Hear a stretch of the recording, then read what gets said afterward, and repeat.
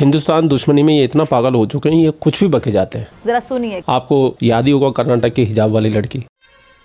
I don't know उसका मैं नाम तो लूँगा नहीं क्या जिन्होंने देश का नाम खराब किया उनका क्या नाम लेना? Nice nice. तब इन पाकिस्तान मीडिया वालों ने कितना एजेंडा चलाया था कितना एजेंडा चलाया था कितना झूठ बोला था अपनी आवाम से कि हिंदुस्तान में लड़कियों के बुरके खींचे जा रहे हैं जबकि किसी ने भी उस लड़की को हाथ भी नहीं लगाया था। मैं जानता हूँ। हिंदुस्तान में अगर जरा सी भी खरोच आ जाए तो इस्लाम का लंबरदार आलम इस्लाम का शहनशाह पाकिस्तान इसका तो बोलना लाजमी था। मोदी सरकार ने बाहिजाब खवातीन का जी इनका जीना मुश्किल कर दिया। भारतीय रियासत कर्नाटक में बाहिजाब तालिबात पर ज़िंदगी तंग कर दी गई। इसका वो है भारतीय रियासत कर्नाटका के कॉलेजेस में हिजाब पर पाबंदी आयद कर दी गई। आज फिर दुनिया ने देखा कर्नाटक में एक एक निहत्ती लड़की तकबीर की तासीर से हिंदू बलवाइयों दहशत गर्दों इंतहा पसंदों के आगे डट गई है। बाहिजाब लड़कियों की ज़िंदगी इस कदर मुश्किल बना दी गई इस कदर अजीरन बना दी गई कि आरएसएस बाहिजाब लड़कियों का रास्ते से गुजरना महाल कर दे तो इंतहा पसंद हिंदुओं ने मुसलमान तालिबात पर हमले शुरू कर अब हिजाब को लेकर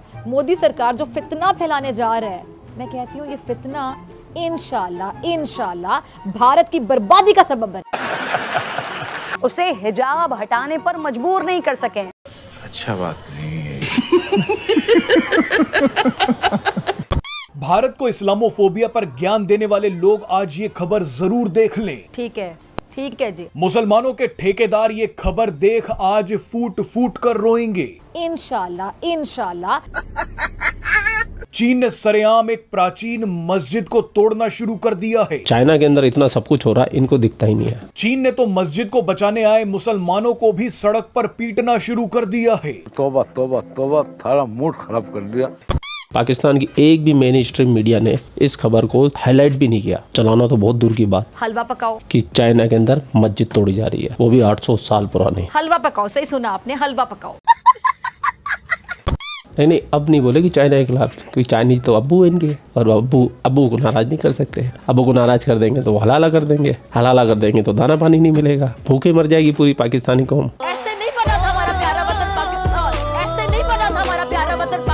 पाकिस्तान की मेन स्ट्रीम मीडिया पाकिस्तान के पॉलिटिशियन चाइना के खिलाफ क्यों नहीं बोलते? पता नहीं। ये आज आपको बताएगा एक ही पाकिस्तानी। और जिसको देखने के बाद ऐसा लगता है अगर सारे लोग पाकिस्तान में ऐसे हो जाए तो पाकिस्तान का कल्याण हो सकता है। वैसे तो संभावना नहीं है लेकिन ऐसे लोग हो जाए तो ज़रूर हो सकता है। तो चलते पाकिस्तान। गाड़ी स्टार्ट कर। ये इंडिया का यार है ये मोदी का यार है ये गद्दार है। भाई साहब आज से इंडिया की बात करनी छोड़ते हैं हम लोग। अच्छा। हम करते हैं मुसलमानों की बातें यार।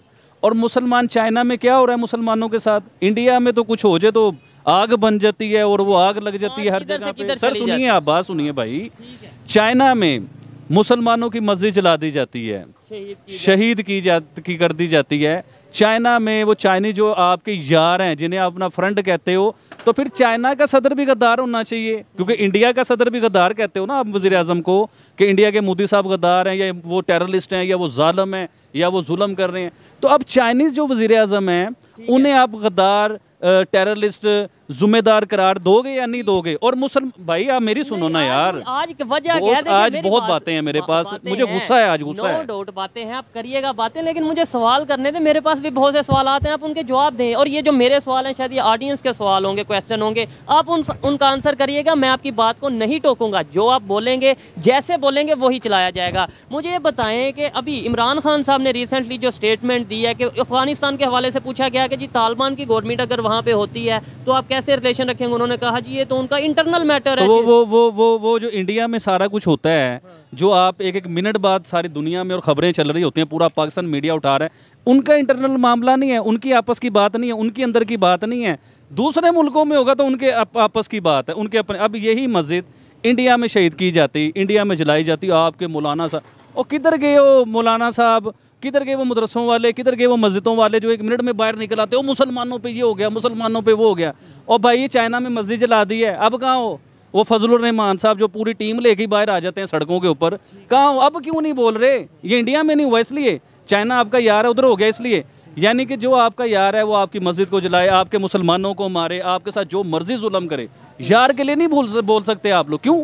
क्यों गैरतमंद जो लोग हैं ना गैरतमंद? क्यों मैं कहता हूँ इंडियंस को गैरतमंद? हमेशा मैंने जब भी कोई इंटरव्यू दिया ना उन्हें गैरतमंद कहा है।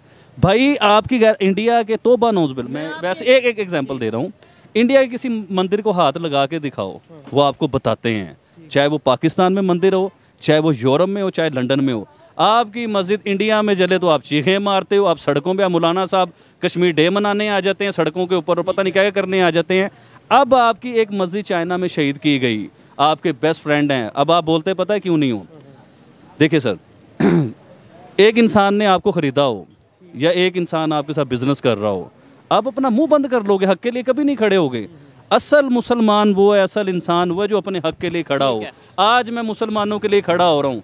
छोड़ दी इंडिया की बात करता हूँ मैं चाइना की बात। अब मुझे बताओ कौन इस चीज़ का न्याय देगा हमें? कौन इस चीज़ का हमें जो है ना? भी आपको एजेंट कहा जाएगा कि भाई ये इंडिया के कहने पे चाइना के मुसलमानों की बात कर और मज़े की बात। और ये बात मैं बड़ी गारंटी से कहता हूँ कि अगर चाइना में मुसलमानों को लेकर कुछ होता है तो वो इंडिया का मीडिया बहुत हाईलाइट करता है कि भाई ये देखें यहाँ पे ह्यूमन राइट की वायलेशन हो रही है यहाँ पे रिलीजियस जो सी पाबंदी है। इसका मतलब हमारे से बेहतर तो इंडिया वाले हैं जो कम अज कम उनकी आवाज़ उठा रहे हैं चाइना वालों सर मैं इंडिया की तारीफ़ इसलिए करता हूँ। देखो इंडिया के साथ कोई मेरा वो कुछ खास सिलसिला तो नहीं है ना कोई बिज़नेस है ना कुछ है ना लेना देना है। इंडिया की तारीफ़ हमेशा सच के ऊपर करता हूँ। सच्ची बात पे करता हूँ कि वो लोग देखो तरक्की करते हैं तो मैं कैसे कहूँ कि वो तरक्की नहीं करते। वो लोग अब हम लोग कहते हैं ना कि इंडिया में ये हो गया वो हिजाब के ऊपर जो मैंने एक इंटरव्यू में भी बात की थी वो लड़की खड़ी हुई हिजाब के ऊपर। उसने इंडिया में टॉप किया है। उसी यूनिवर्सिटी में उस लड़की ने टॉप किया है। भाई पक्की बात है। आप सर्च कर सकते हैं। उसी लड़की का सर, नहीं पक्की बात कर रहा हूँ। आप सर्च कर लीजिए। उसी यूनिवर्सिटी में उस लड़की ने टॉप किया है।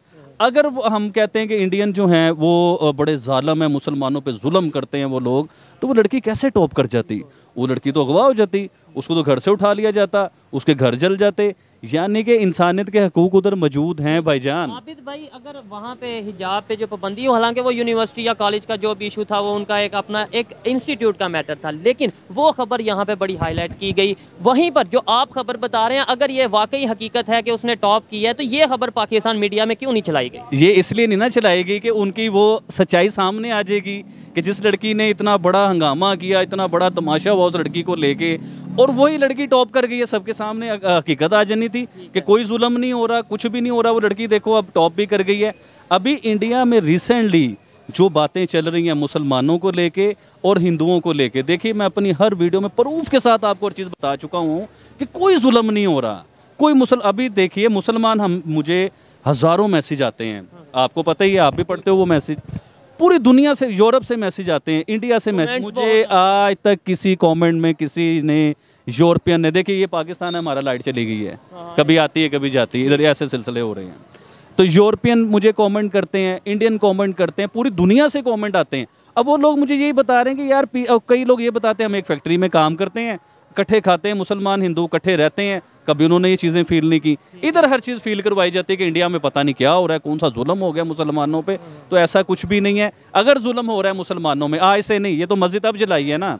उस शहीद की शहीद की है अब किया उन्होंने जो भी किया है। उससे पहले वाले सिलसिले भूल गए आप चाइना में क्या हो रहा है? क्या क्या कुछ हुआ है मुसलमानों के साथ? तो भाई बात यह है कि सच बोला करें झूठ से ज़रा थोड़ा सा पीछे आए क्या हो जाएगा? सच बोलने के साथ क्या होगा? आपको मार दिया जाएगा। एक एग्ज़ाम्पल दे रहा हूँ कोई इतना पैदा नहीं हुआ कि हम सच बोलने को मार दे हमें।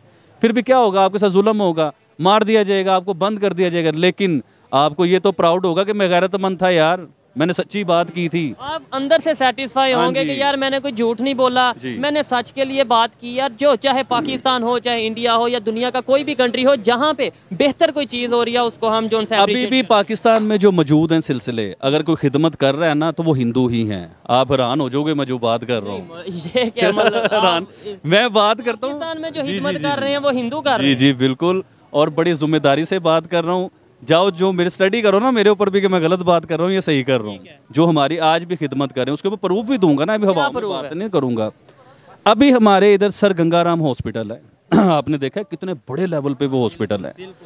वो सर गंगाराम ने बनाया था। अब गुलाब देवी है सुनने में आता है ये रिश्तेदार थे आपस में पता नहीं ऐसा पता नहीं है। गुलाब देवी हॉस्पिटल है। ये पाकिस्तान के टॉप के हॉस्पिटल है जहाँ पे फ्री इलाज होते हैं जो गरीब आदमी इसके घर पैसे नहीं है ना अपना बच्चा पैदा करने के लिए वो बच्चा भी फ्री पैदा करवाते हैं जाके तो मतलब डिलीवरी भी ईच एंड एवरीथिंग हर चीज़ का इलाज बुनियाद किसने रखी? गंगाराम जी ने। हिंदू हिंदू थे। हिंदू थे वो। गुलाब देवी जो ब्रांड हैं जो बड़े लेवल के जहाँ खिदमत हो रही है वो कौन थे? हिंदू थे। आज भी उनके नाम से वो सिलसिले इतने बड़े लेवल पे और लोग उधर से फ़ायदा उठा रहे हैं। गरीब देखिए कितनी बड़ी मैंने बात की। ऐसे कहा जाए जिना हॉस्पिटल है। नो डाउट वो कायदे आज़म मोहम्मद अली जिना ने नहीं बनाया था वो उनके नाम पे रखा नहीं गया। नहीं सर गंगा राम साहब ने ही बनाया था आप हिस्ट्री देख लीजिए। तो उनके बनाए हुए हॉस्पिटल आज मुसलमान हज़ारों की तादाद में उसे फ़ायदा उठा रहे हैं। गुलाब देवी से हज़ारों अच्छा सर गंगाराम इतनी बड़ी देखें उन्हें गंगा राम मैं नहीं कहता हूँ मैं उन्हें सर गंगाराम कहता हूँ क्योंकि उनकी क्लास है उन्होंने इंसान उन्होंने देखा अब देखिए अब मैं ऐसी बात करूँगा मुझ पर फतवा ना लग जाए। लोग कहते हैं कि गैर मुस्लिम जो है ना, वो जन्नत में नहीं जा सकता। हमारे मुसलमान कहते हैं, हमारे, हर चीज़ कहती है। अब देखिए, मेरा कुरान जो कहता है, वो कहता है कि इंसानियत की जिसने खिदमत की ना, जो इंसानियत की खिदमत करता है, वो जन्नत में जाता है। तो मैं कहता हूँ, गंगाराम सर जो हैं, उनसे बड़ी खिदमत कौन कर रहा होगा? वो उन्हें फोत हुए हुए भी पता नहीं कितना अरसा हो गया हुआ है। लेकिन आज भी उनके नाम से लोग फ्री इलाज करवाते हैं अपनी डिलीवरी डिलीवरी में एक लाख डेढ़ लाख रुपया लगता है। पाकिस्तान में इतना पाकिस्तान में। लग जाता है ऑपरेशन के टाइम पे। लेकिन ये बताएँ हाफिज भाई कब हम ये, ये हिंदू मुस्लिम के कंसेप्ट से बाहर निकलेंगे? कब हम इंसानियत की बात करेंगे? कब हम ये बात करेंगे कि आज पाकिस्तान को प्रमोट करना है? आज पाकिस्तान में एजुकेशन की बात करनी है? आज पाकिस्तान काटता हूँ आपकी। मेरे दिल की सबसे बड़ी ख्वाहिश पता है क्या है? आप यकीन करिए या ना करिए। मेरे दिल की ख्वाहिश है कि मैं ऐसे आपके साथ इंटरव्यू कर रहा हूँ। और ऐसे प्राउड से खड़ा हूँ कि मैंने ये, हमारे पाकिस्तान ने ये कर दिया।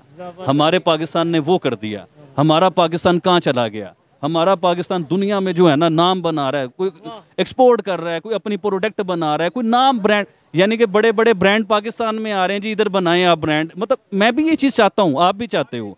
हम सड़ के ये बातें करते हैं, सड़ियल इंसान नहीं जो बन जाता। हम लोग सड़ियल टाइप बन चुके हुए हैं इस टाइम कि हमें फील होता है कि यार हम लोग क्यों नीचे आ रहे हैं? अगर पाकिस्तान में किसी जो अगर पॉलिसी को क्रिटिसाइज किया जा रहा है गवर्नमेंट को क्रिटिसाइज किया जा रहा है तो अंदर से थोड़ा एक गुस्सा सा है कि यार ये हमारे साथ हो क्या सर रहा है? गवर्नमेंट की बात जब भी आप करते हैं ना तो फिर मैं अंदर से आग बगोला हो जाता हूँ। ये वो गवर्नमेंट है जिसे पिछले तीस साल से हम लोग वोट देते हैं। ये जो अभी मौजूदा गवर्नमेंट चल रही है पहले नवाज़ शरीफ साहब थे वो आते हैं फिर भाग जाते हैं आते हैं फिर भाग कभी लंदन भाग जाते हैं कभी अभी भी लंदन में भागे हुए हैं। मुझे ऐसा लगता है कि अब वक्त आ गया है कि पाकिस्तान को अपने चाल चलन सुधार लेने चाहिए। क्योंकि ये जितना गहरा गड्ढे में गिर सकते थे ना ये गिर चुके हैं। इन्होंने पता नहीं कहाँ से मांग मूंग के साढ़े चार बिलियन डॉलर जमा कर लिए अपने पास। वो तो कोई बात नहीं। लेकिन अब इनकी टेंशन पता है क्या है? दिसंबर तक इनको नौ से बारह बिलियन डॉलर कर्ज की अदायगी करनी है। और ये सारी सूरत हाल मुल्क को किस जानेब किस समत लेकर जाएगी? और एक और कमाल की चीज़ बताऊँ और अगले साल 24 बिलियन डॉलर इन पाकिस्तानियों को कर्जा उतारना है।